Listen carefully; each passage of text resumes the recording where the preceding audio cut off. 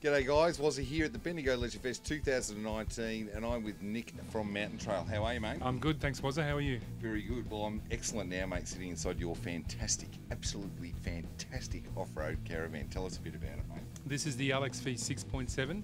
This is our biggest van, 6.7, which is 22 feet. We don't put in cheap, we put in reliable, and we build everything in-house, and um, that's the kind of buyer that we're, we're attracting.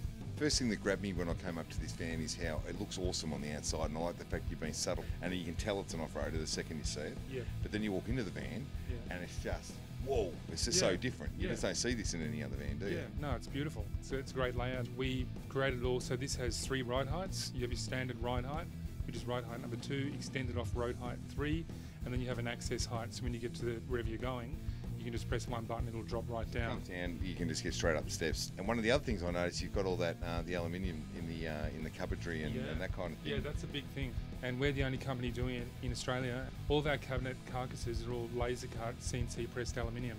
Is the corrugations can be so intense that everything moves and shudders and rattles. With this, there's absolutely no fatigue. If you are around, guys, you should come and check out these vans. They are something else.